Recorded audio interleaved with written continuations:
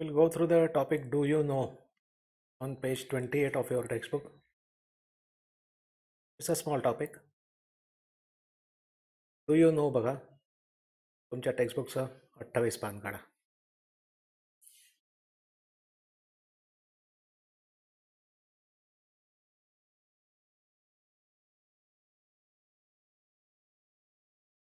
It is giving one reaction M. M is the symbol of an ele- element. M plus 2H2O gives MOH twice plus H2. That means the hydroxide is getting formed.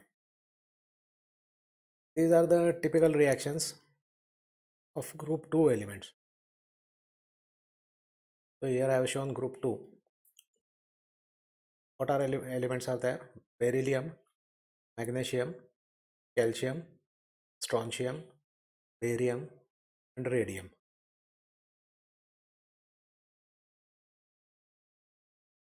General chemical equation indicating the reaction of alkaline earth metals is given above.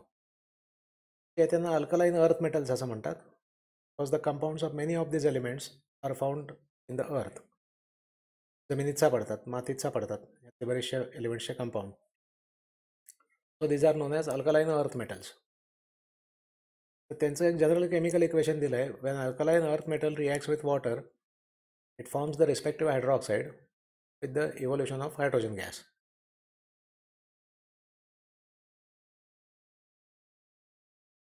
While going down the second group as from beryllium to magnesium to calcium to strontium to barium, the gradation in this chemical property of the alkaline earth metals is seen.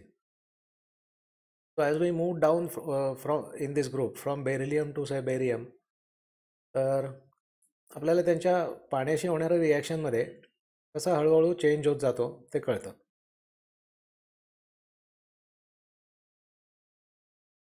While going down the second group the reactivity of the alkaline earth metals goes on increasing and thereby the ease with which this reaction takes place also goes on increasing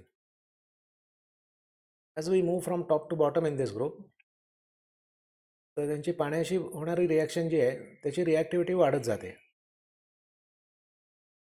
तर याच्यावरून जे classification आपण केलं आहे एलिमेंट्सचं ते इथे useful ठरल्याचं आढळतं आपल्याला.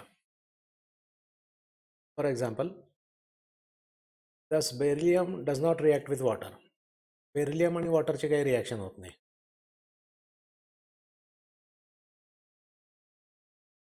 मॅग्नेशियम रिॲक्ट्स विथ स्टीम ते मॅग्नेशियमची पाण्याच्या वाफेशी अभिक स्टीमशी अभिक्रिया होते. म्हणजे the reaction takes place at high temperature